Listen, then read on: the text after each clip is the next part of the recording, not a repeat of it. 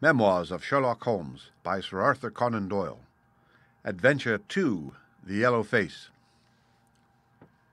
In publishing these short sketches based upon the numerous cases in which my companions' singular gifts have made us the listeners to, and eventually the actors in, some strange drama, it is only natural that I should dwell rather upon his successes than upon his failures, and this not so much for the sake of his reputation, for indeed it was when he was at his wits' end that his energy and his versatility were most admirable, but because where he failed it happened too often that no one else succeeded, and that the tale was left forever without a conclusion. Now and again, however, it chanced that even when he erred, the truth was still discovered, and I have noted of some half dozen cases of the kind. The adventure of the Musgrave ritual and that which I am about to recount are the two which present the strongest features of interest. Sherlock Holmes was a man who seldom took exercise for exercise's sake. Few men were capable of greater muscular effort, and he was undoubtedly one of the finest boxers of his weight that I have ever seen. But he looked upon aimless bodily exertion as a waste of energy, and he seldom bestirred himself save when there was some professional object to be served. Then he was absolutely untiring and indefatigable. That he should have kept himself in training under such circumstances is remarkable, but his diet was usually of the sparest, and his habits were simple to the verge of austerity. Save for the occasional use of cocaine, he had no vices, and he only turned to the drug as a protest against the monotony of existence when cases were scanty and the papers uninteresting. One day in early spring he had so far relaxed as to go for a walk with me in the park, where the first faint shoots of green were breaking out upon the elms and the sticky spearheads of the chestnuts were just beginning to burst into their five-fold leaves. For two hours we rambled about together, in silence for the most part, as befits two men who knew each other intimately. It was nearly five before we were back in Baker Street once more. Beg pardon, sir, said our page boy as he opened the door. There's been a gentleman here asking for you, sir. Holmes glanced reproachfully at me. So much for afternoon walk, said he. Has this gentleman gone, then? Yes, sir. Didn't you ask him in? Yes, sir, he came in. How long did he wait? Half an hour, sir. He was a very restless gentleman, sir, a walking and a stamping all the time he was here. I was waiting outside the door, sir, and I could hear him. At last he outs into the passage, and he cries, Is that man never going to come? Those were his very words, sir. You'll only need to wait a little longer, says I. Then I'll wait in the open air, for I feel half choked, says he. I'll be back before long. And with that he ups and he outs, and all I could say wouldn't hold him back. Well, well, you did your best, said Holmes, as we walked into our room. It's very annoying, though, Watson. I was badly in need of a case, and this looks from the man's impatience as if it were of importance. Hello! That's not your pipe on the table. He must have left it behind him. A nice old briar with a good long stem of what the tobacconists call amber. I wonder how many real amber mouthpieces there are in London. Some people think that a fly in it is a sign. Well, he must have been disturbed in his mind to leave a pipe behind him which he evidently values highly. How do you know that he values it highly? I asked. Well, I should put the original cost of the pipe at seven and sixpence. Now it has, you see, been twice mended, once in the wooden stem and once in the amber. Each of these mends, done as you observe with silver bands, must have cost more than the pipe did originally. The man must value the pipe highly when he prefers to patch it up rather than buy a new one with the same money. Anything else? I asked, for Holmes was turning the pipe about in his hand and staring at it in his peculiarly pensive way. He held it up and tapped on it with his long, thin forefinger as a professor might who was lecturing on a bone. Pipes are occasionally of extraordinary interest, said he. Nothing has more individuality, save perhaps watches and bootlaces. The indications here, however, are neither very marked nor very important. The owner is obviously a muscular man, left handed, with an excellent set of teeth, careless in his habits, and with no need to practice economy. My friend threw out the information in a very offhand way, but I saw that he cocked his eye at me to see if I had followed his reasoning. You think a man must be well to do if he smokes a seven shilling pipe? said I. This is Grosvenor mixture at eightpence an ounce. Holmes answered, knocking a little out on his palm. As he might get an excellent smoke for half the price, he has no need to practice economy. And the other points? He has been in the habit of lighting his pipe at lamps and gas jets. You can see that it is quite charred all down one side. Of course, a match could not have done that. Why should a man hold a match to the side of his pipe? But you cannot light it at a lamp without getting the bowl charred, and it is all on the right side of the pipe. From that I gather that he is a left-handed man. You hold your pipe to the lamp and see how naturally you, being right-handed, hold the left side to the flame. You might do it once the other way, but not as a constancy. This has always been held so. Then he has bitten through his amber. It takes a muscular, energetic fellow, and one with a good set of teeth, to do that. But if I am not mistaken, I hear him upon the stair, so we shall have something more interesting than his pipe to study. An instant later our door opened, and a tall young man entered the room. He was well but quietly dressed in a dark grey suit, and carried a brown wide awake in his hand. I should have put him at about thirty, although he was really some years older. I beg your pardon, said he, with some embarrassment. I suppose I should have knocked. Uh, yes, of course I should have knocked. The fact is that I am a little upset, and you must put it all down to that. He passed his hand over his forehead like a man who is half dazed, and then fell rather than sat down upon a chair. I can see that you have not slept for a night or two, said Holmes in his easy, genial way. That tries a man's nerves more than work and even more than pleasure. May I ask how I can help you? I wanted your advice, sir. I don't know what to do, and my whole life seems to have gone to pieces. You wish to employ me as a consulting detective? Not that only. I want your opinion as a judicious man, as a man of the world. I want to know what I ought to do next. I hope to God you'll be able to tell me. He spoke in little, sharp, jerky outbursts and it seemed to me that to speak at all was very painful to him, and that his will all through was overriding his inclinations. It is a very delicate thing, said he. One does not like to speak of one's domestic affairs to strangers. It seems dreadful to discuss the conduct of one's wife with two men whom I have never seen before. It is horrible to have to do it, but I've got to the end of my tether, and I, I must have advice. My dear Mr. Grant Munro, began Holmes.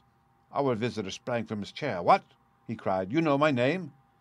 If you wish to preserve your incognito, said Holmes, smiling, I would suggest that you cease to write your name upon the lining of your hat, or else that you turn the crown towards the person whom you are addressing. I was about to say that my friend and I have listened to a good many strange secrets in this room, and that we have had the good fortune to bring peace to many troubled souls. I trust that we may do as much for you. Might I beg you, as time may prove to be of importance, to furnish me with the facts of your case without further delay? Our visitor again passed his hand over his forehead, as if he found it bitterly hard. From every gesture and expression, I could see that he was a reserved, self contained man, with a dash of pride in his nature, more likely to hide his wounds than to express them. Then, suddenly, with a fierce gesture of his closed hand, like one who throws reserve to the winds, he began. The facts are these, Mr. Holmes, said he. I am a married man, and have been so for three years. During that time my wife and I have loved each other as fondly and lived as happily as any two that ever were joined. We have not had a difference, not one, in thought or word or deed. And now, since last Monday, there has suddenly sprung up a barrier between us, and I find that there is something in her life and in her thought of which I know as little as if she were the woman who brushes by me in the street. We are estranged, and I want to know why. Now, there is one thing that I want to impress upon you before I go any further, Mr. Holmes. Effie loves me. Don't let there be any mistake about that. She loves me with her whole heart and soul, and never more than now. I know it. I feel it. I don't want to argue about that. A man can tell easily enough when a woman loves him, but there's this secret between us, and we can never be the same until it is cleared.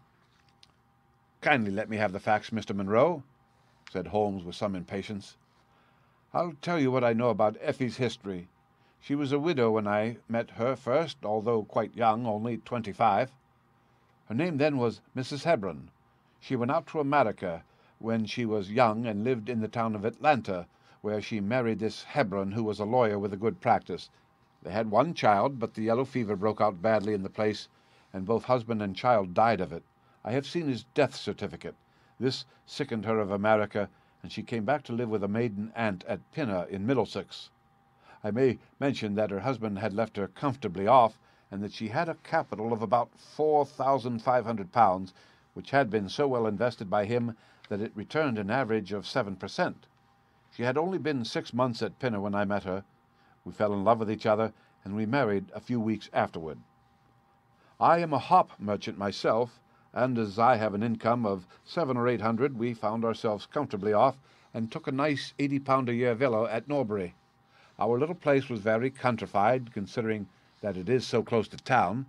We had an inn and two houses a little above us, and a single cottage at the other side of the field which faces us, and except those there were no houses until you got halfway to the station. My business took me into town at certain seasons, but in summer I had less to do, and then in our country home my wife and I were just as happy as could be wished. I tell you that there never was a shadow between us until this accursed affair began. There's one thing I ought to tell you before I go further. When we married, my wife made all her property over to me, rather against my will, for I saw how awkward it would be if my business affairs went wrong. However, she would have it so, and it was done. Well, about six weeks ago she came to me. Jack, said she, when you took my money, you said that if ever I wanted any, I was to ask you for it. Certainly, said I. It's all your own. Well, said she, I want a hundred pounds. I was a bit staggered at this, for I had imagined it was simply a new dress or something of the kind that she was after. What on earth for? I asked. Oh, said she, in her playful way, you said that you were only my banker, and bankers never ask questions, you know. If you really mean it, of course you shall have the money, said I. Oh, yes, I really mean it. And you won't tell me what you want it for? Some day, perhaps but not just at present, Jack. So I had to be content with that, though it was the first time that there had ever been any secret between us. I gave her a cheque, and I never thought any more of the matter. It may have nothing to do with what came afterwards, but I thought it only right to mention it. Well, I told you just now that there is a cottage not far from our house. There is just a field between us, but to reach it you have to go along the road and then turn down a lane. Just beyond it is a nice little grove of Scotch firs, and I used to be very fond of strolling down there, for trees are always a neighbourly kind of thing. the cottage had been standing empty this past eight months, and it was a pity, for it was a pretty two-storied place with an old-fashioned porch and honeysuckle about it. I have stood many a time and thought what a neat little homestead it would make. Well, last Monday evening I was taking a stroll down that way when I met an empty van coming up the lane, and saw a pile of carpets and things lying about on the grass plot beside the porch. It was clear that the cottage had at last been let. I walked past it and wondered what sort of folk they were who had come to live so near us. And as I looked, I suddenly became aware that a face was watching me out of one of the upper windows. I don't know what there was about that face, Mr. Holmes, but it seemed to send a chill right down my back. I was some little way off, so that I could not make out the features, but there was something unnatural and inhuman about the face. That was the impression that I had, and I moved quickly forward to get a nearer view of the person who was watching me. But as I did so, the face suddenly disappeared, so suddenly that it seemed to have been plucked away into the darkness of the room. I stood for five minutes, thinking the business over and trying to analyze my impressions. I could not tell if the face were that of a man or a woman. It had been too far from me for that, but its colour was what had impressed me most. It was of a livid, chalky white, and with something set and rigid about it which was shockingly unnatural. So disturbed was I that I determined to see a little more of the new inmates of the cottage. I approached and knocked at the door, which was instantly opened by a tall, gaunt woman with a harsh, forbidding face. What may you be wanting? she asked in a northern accent. I am your neighbour over yonder, said I, nodding towards my house. I see that you have only just moved in, so I thought that if I could be of any help to you in any I will just ask ye when ye want ye, said she, and shut the door in my face. Annoyed at the churlish rebuff, I turned my back and walked home. All evening, though I tried to think of other things, my mind would still turn to the apparition at the window and the rudeness of the woman. I determined to say nothing about the former to my wife, for she is a nervous, highly strung woman, and I had no wish that she should share the unpleasant impression which had been produced upon myself. I remarked to her, however, before I fell asleep, that the cottage was now occupied, to which she returned no reply. I am usually an extremely sound sleeper. It has been a standing jest in the family that nothing could ever wake me during the night, and yet somehow on that particular night, whether it may have been the slight excitement produced by my little adventure or not, I know not. But I slept much more lightly than usual. Half in my dreams I was dimly conscious that something was going on in the room, and gradually became aware that my wife had dressed herself and was slipping on her mantle and her bonnet. My lips were parted to murmur out some sleepy words of surprise or remonstrance at this untimely preparation, when suddenly my half opened eyes fell upon her face, illuminated by the candlelight, and astonishment held me dumb. She wore an expression such as I had never seen before, such as I should have thought her incapable of assuming. She was deadly pale and breathing fast, glancing furtively towards the bed as she fastened her mantle to see if she had disturbed me. Then, thinking that I was still asleep, she slipped noiselessly from the room, and an instant later I heard a sharp creaking which could only come from the hinges of the front door. I sat up in bed and rapped my knuckles against the rail to make certain that I was truly awake. Then I took my watch from under the pillow. It was three in the morning. What on this earth could my wife be doing out on the country road at three in the morning? I had sat for about twenty minutes, turning the thing over in my mind and trying to find some possible explanation. The more I thought, the more extraordinary and inexplicable did it appear. I was still puzzling over it when I heard the door gently close again, and her footsteps coming up the stairs. Where in the world have you been, Effie? I asked as she entered. She gave a violent start and a kind of gasping cry when I spoke, and that cry and start troubled me more than all the rest, for there was something indescribably guilty about them. My wife had always been a woman of frank, open nature, and it gave me a chill to see her slinking into her own room and crying out and wincing when her own husband spoke to her. You awake, Jack? she cried with a nervous laugh. Why, I, I thought that nothing could awaken you. Where have you been? I asked more sternly. I don't wonder that you are surprised, said she, and I could see that her fingers were trembling as she undid the fastenings of her mantle. Why, I never remember having done such a thing in my life before. The fact is that I felt as though I were choking, and had a perfect longing for a breath of fresh air. I really think that I should have fainted if I had not gone out. I stood at the door for a few minutes, and now I am quite myself again. All the time that she was telling me this story, she never once looked in my direction, and her voice was quite unlike her usual tones.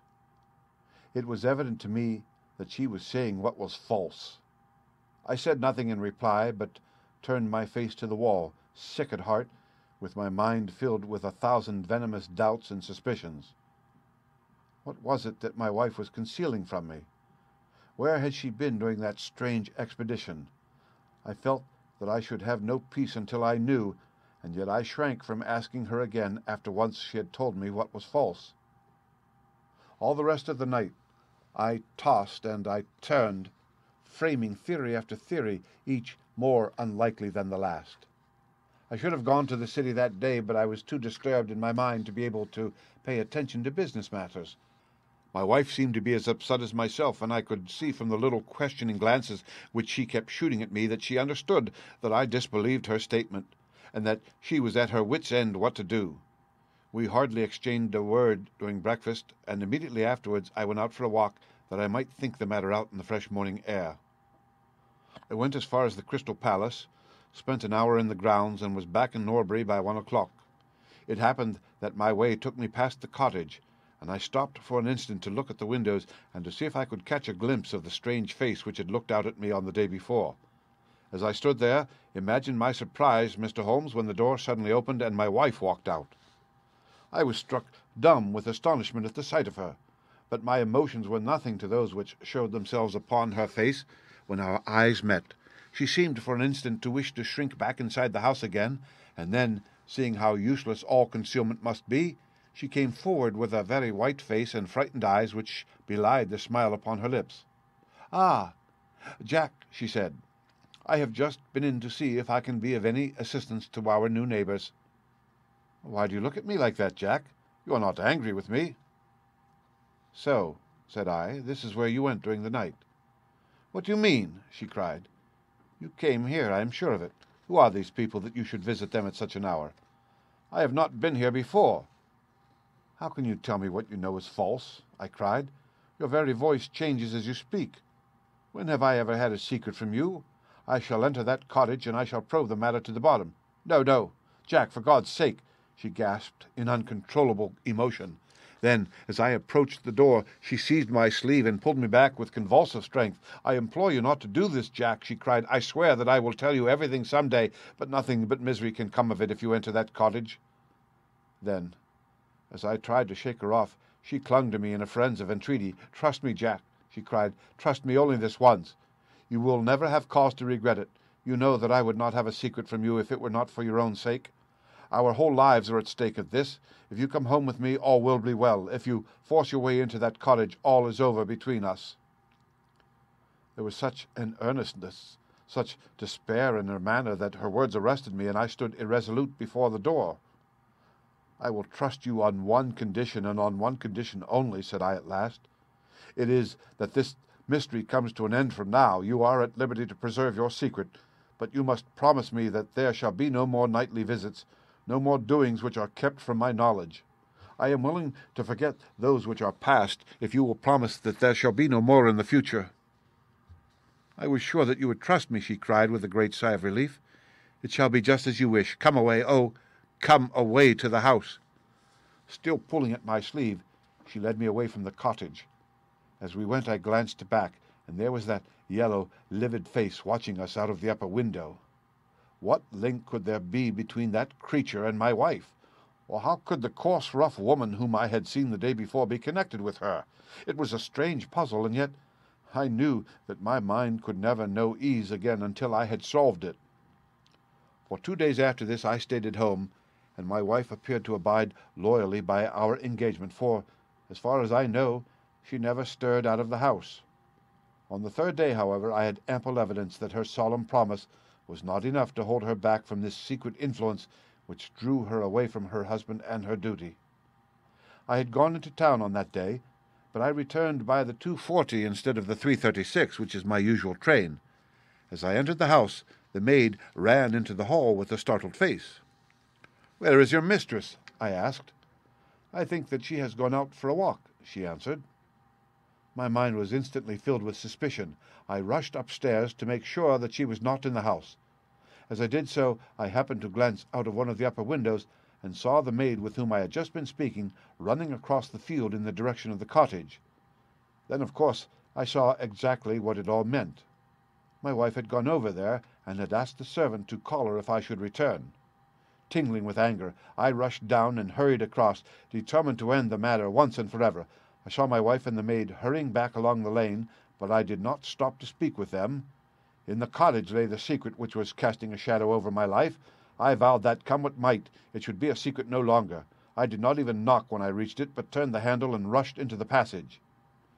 It was all still and quiet upon the ground floor. In the kitchen a kettle was singing on the fire, and a large black cat lay coiled up in the basket but there was no sign of the woman who I had seen before. I ran into the other room, but it was equally deserted. Then I rushed up the stairs, only to find two other rooms empty and deserted at the top. There was no one at all in the whole house. The furniture and pictures were of the most common and vulgar description, save in the one chamber at the window of which I had seen the strange face. That was comfortable and elegant, and all my suspicions rose into a fierce, bitter flame when I saw that on the mantelpiece stood a copy of a full length photograph of my wife, which had been taken at my request only three months ago. I stayed long enough to make certain that the house was absolutely empty. Then I left it, feeling a weight at my heart such as I had never had before. My wife came out into the hall as I entered my house, but I was too hurt and angry to speak with her, and pushing past her, I made my way into my study. She followed me, however, before I could close the door. I am sorry that I broke my promise, Jack, said she, but if you knew all the circumstances, I am sure that you would forgive me. Tell me everything, then, said I.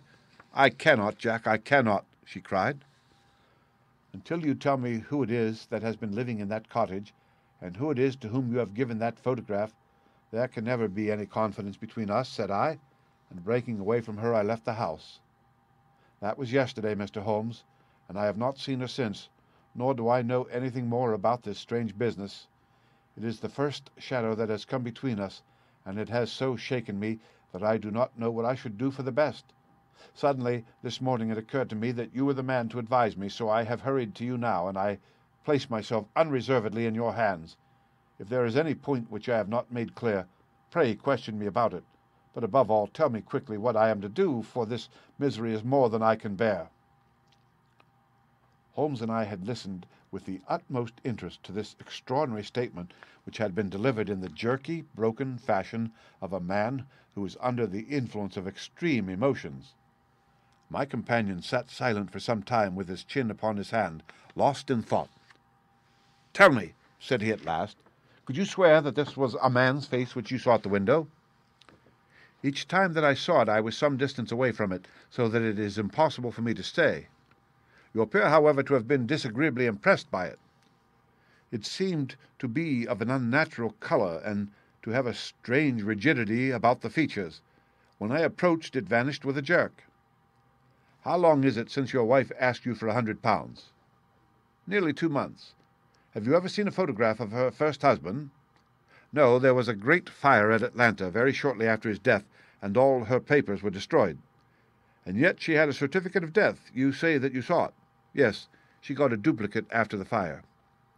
Did you ever meet anyone who knew her in America? No. Did she ever talk of revisiting the place? No. Or get letters from it? No. Thank you. I should like to think over the matter a little now. If the cottage is now permanently deserted, we may have some difficulty. If, on the other hand, as I fancy is more likely, the inmates were warned of your coming and left before you entered yesterday, then they may be back now, and we should clear it all up easily. Let me advise you, then, to return to Norbury and to examine the windows of the cottage again. If you have any reason to believe that it is inhabited, do not force your way in, but send a wire to my friend and me. We shall be with you within an hour of receiving it, and we shall then very soon get to the bottom of the business.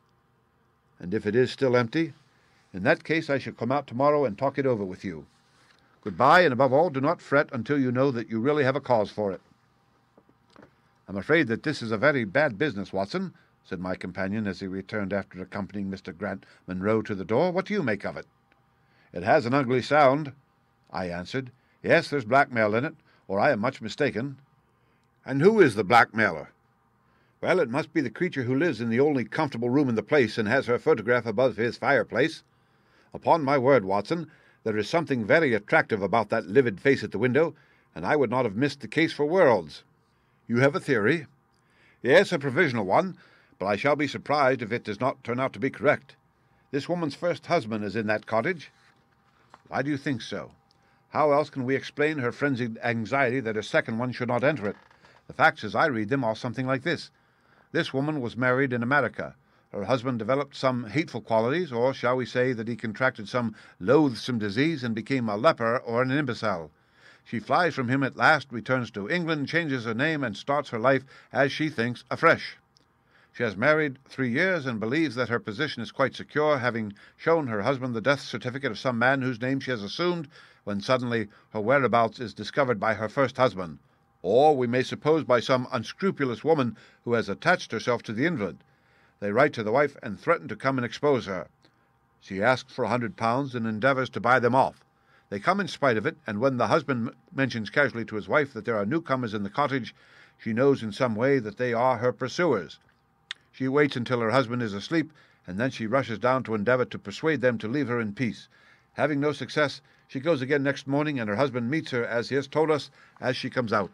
She promises him then not to go there again, but two days afterwards the hope of getting rid of those dreadful neighbours was too strong for her, and she made another attempt, taking down with her the photograph which had probably been demanded from her.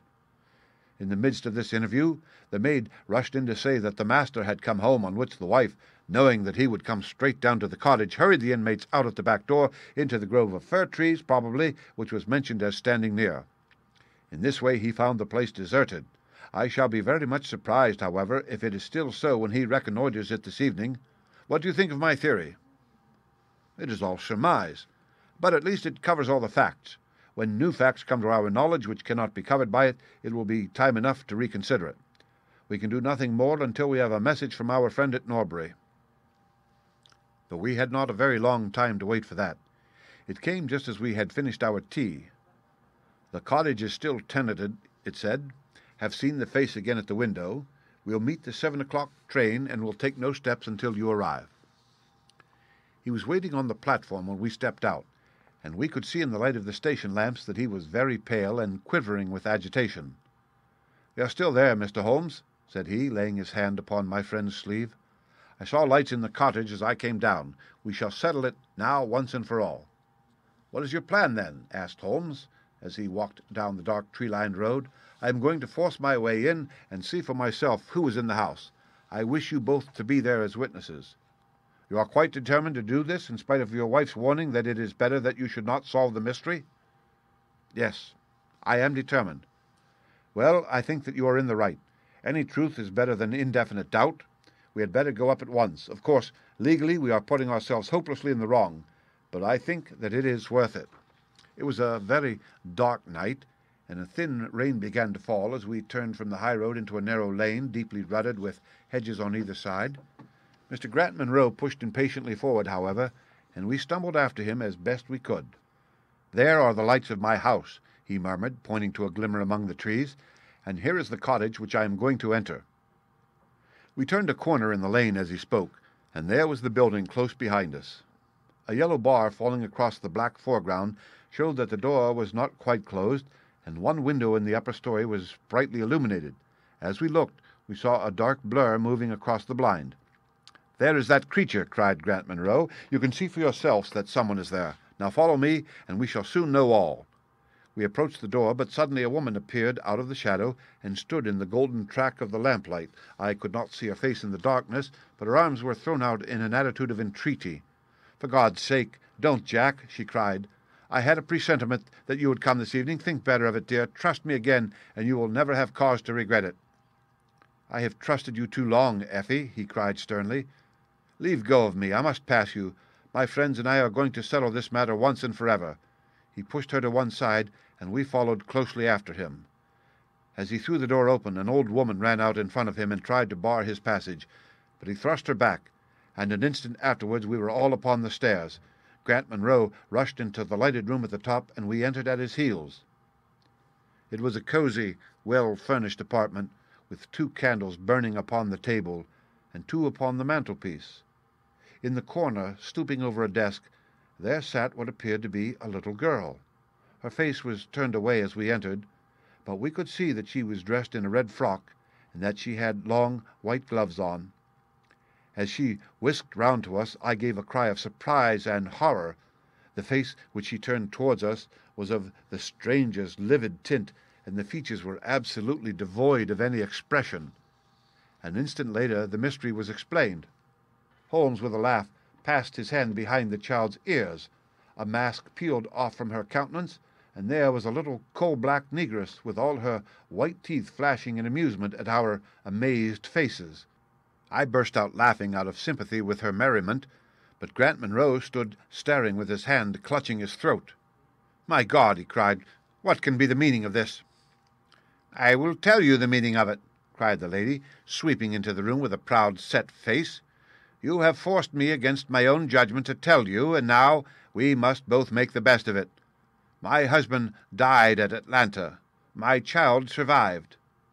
Your child? She drew a large silver locket from her bosom. You have never seen this open. I understood that it did not open. She touched a spring in the front hinged back. There was a portrait within of a man strikingly handsome and intelligent looking, but bearing unmistakable signs upon his features of his African descent. That is John Hebron of Atlanta, said the lady, and a nobler man never walked the earth. I cut myself off from my race in order to wed him, but never once while he lived did I for an instant regret it. It was our misfortune that our only child took after his people rather than mine. It is often so in such matches, and little Lucy is darker far than even her father was. But dark or fair, she is my own dear little girlie and her mother's pet. The little creature ran across at the words and nestled up against the lady's dress. When I left her in America, she continued, it was only because her health was weak, and the change might have done her harm. She was given to the care of a faithful Scotchwoman who had once been our servant. Never for an instant did I dream of disowning her as my child, but when chance threw you in my way, Jack, and I learned to love you, I feared to tell you about my child, God forgive me. I feared that I should lose you, and I had not the courage to tell you. I had to choose between you, and in my weakness I turned away from my own little girl. For three years I have kept her existence a secret from you, but I heard from the nurse, and I knew that all was well with her. At last, however, there came an overwhelming desire to see the child once more. I struggled against it, but in vain. Though I knew the danger, I determined to have the child over, if it were but for a few weeks. I sent a hundred pounds to the nurse, and I gave her instructions about this cottage, so that she might come as a neighbour without my appearing to be in any way connected with her. I pushed my precautions so far as to order her to keep the child in the house during the daytime, and to cover up her little face and hands so that even those who might see her at the window should not gossip about there being a black child in the neighborhood. If I had been less cautious, I might have been more wise, but I was half crazy with fear that you should learn the truth. It was you who told me first that the cottage was occupied.